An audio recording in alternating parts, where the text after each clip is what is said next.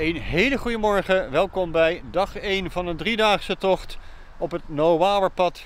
Van hier Schonebeek de Wilmsbrugweg, waar ik vorige keer gestopt ben, loop ik in drie dagen naar Oudmarsum. Van hier dus Drenthe, Zuidoost-Drenthe, naar Oudmarsum in Overijssel. Maar er zit een heel stuk Duitsland tussen. Dat gaan we vandaag, morgen en overmorgen zien. Via Emlichheim, Hoogstede, Ulsen komen we uiteindelijk in Oudmarsum. Met als het goed is twee overnachtingen op campings. Vandaar de wat grotere rugzak. Loop lekker mee!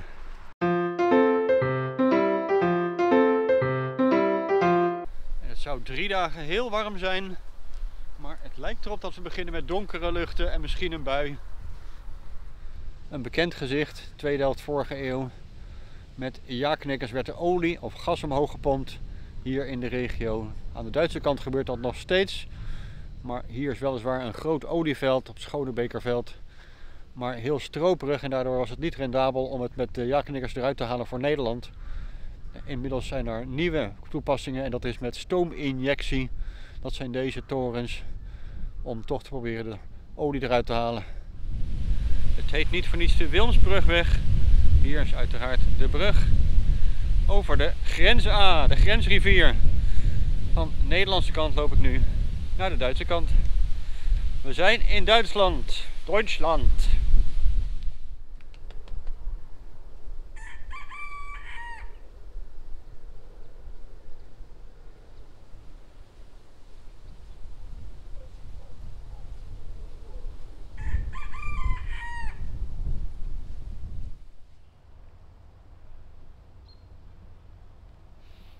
Via het Blikdiek met ellenlange maisvelden komen we hier over het kanaal die kant naar Alt-Picardie.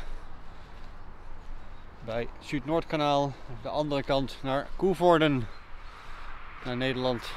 Zo weten we ook gelijk de naam van het kanaal, Picardie, Koevoordenkanaal.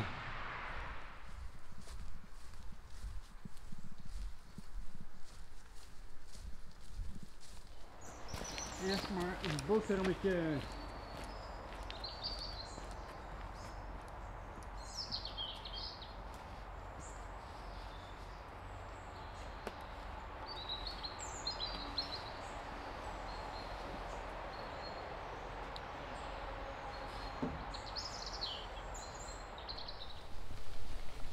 Beetje aan het onweren, een beetje aan het miseren. Ik heb ook mijn regenbroek maar vast aangedaan. Ik heb maar één lange broek bij me voor drie dagen. Die wil ik niet meteen nat maken natuurlijk.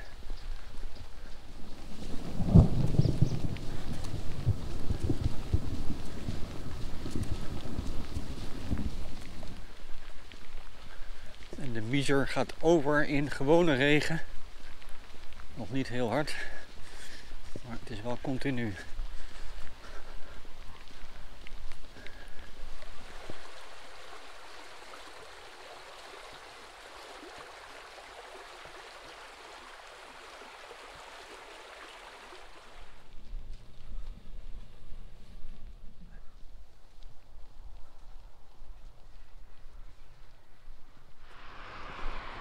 Een goederenspoorbaan tussen Koevoorden en Bad Bentheim-Gronau.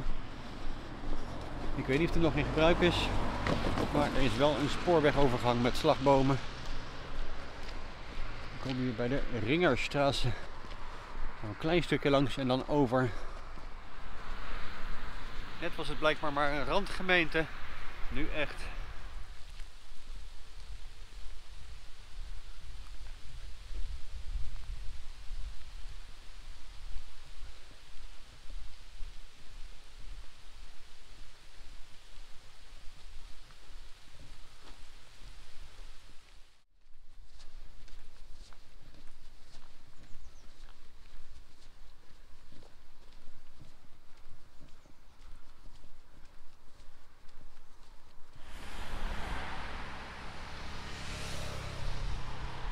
De Vechten heet deze rivier. Vanaf Münster loopt het deze kant op en dan door naar Nederland, naar de Overijsselse Vecht. Bij Zwolle, Genemuiden, Zwarte Water, zo richting het IJsselmeer. 174 kilometer lang in totaal. Maar in Duitsland heet het dus Vechten. Gaan we een stuk van zien deze etappe. En volgens mij volgende etappes ook. het eerst onverhard vanaf Emlichheim. En dat kan ook komen omdat we vanaf Emlichheim in de negende etappe van het Noorderpad zitten. En daarvoor van Schonebeek naar Emlichheim was het laatste stuk van de achtste etappe. De vechten laten we heel even met rust. Maar niet voor de hele dag. Want het eindpunt ligt ook nog pal langs de vechten. Daar zit de camping. Maar moeten we eerst nog even dit pad lopen.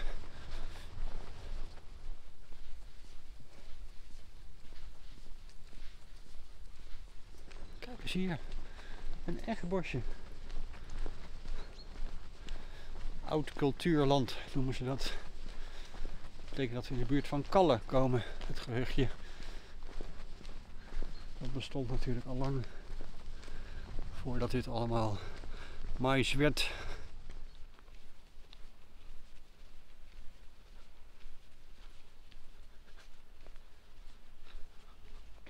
Dit is weer het grootschalig landbouw. Beide kanten mais, maar wat een leuk landje met bomen. Ik merk dat die rugzak echt zwaar wordt. Ik moest weer even uitrusten. Er is gelukkig mooie oplossingen voor met die unterstands. Die schuilhuisjes met picknickbanken eronder. Maar wat is die rugzak ongemakkelijk. Deze weg over, dat is de Wielsimmerstraße.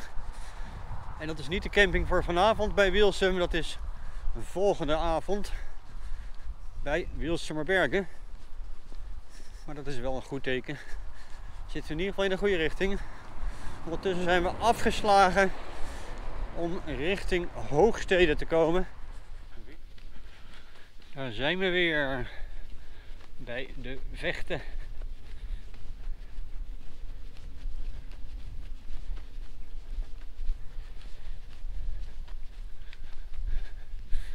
Deze oever, de noordoever van de vechten hier, ligt hoger. Daarom heet dit dorpje hier Hoogsteden. Hoogstadje. We zijn er amper in. Of hier moeten we zijn, Bahnhofstraße, campingplaats.